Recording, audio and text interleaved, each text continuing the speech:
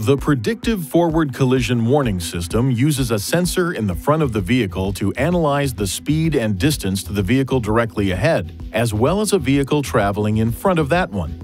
The Predictive Forward Collision Warning System operates at speeds above approximately 3 miles per hour. If a risk of a forward collision is detected, the system provides the first warning to the driver by flashing the vehicle ahead detection indicator with an audible warning. Perform the following steps to turn the system on or off. Press the menu button on the control panel. Touch the right arrow. Touch driver assistance on the lower touchscreen display. Touch emergency assist. Then forward emergency braking. The PFCW system, if so equipped, is integrated into the forward emergency braking with pedestrian detection system. There is not a separate selection in the touchscreen display for the PFCW system.